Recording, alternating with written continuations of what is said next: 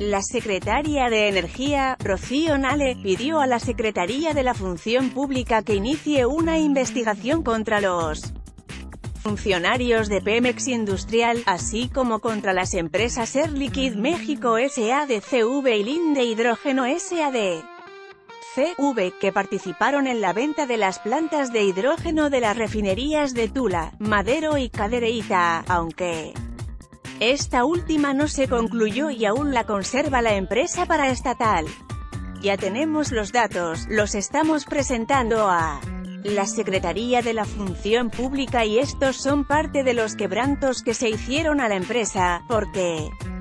esas plantas eran de Pemex, se tiene todo un articulado de que era necesario, de que iba a tener mejor calidad, de que con esto se iban a invitar varios programados y no es cierto, es una planta que nació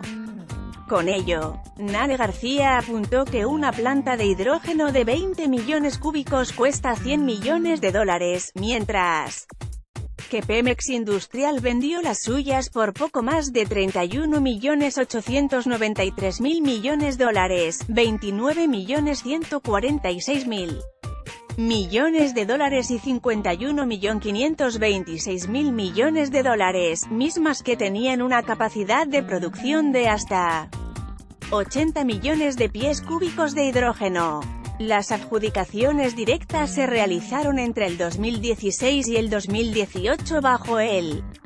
aval del subgerente de apoyo legal y formalización de Pemex Transformación Industrial Carlos Reinaldo Godínez, Guzberto Suara Apavón, director operativo de producción de Pemex Transformación Industrial, y Jorge Humberto Freire Rizo, subdirector de petrolíferos de la Dirección de Producción de Pemex Transformación Industrial.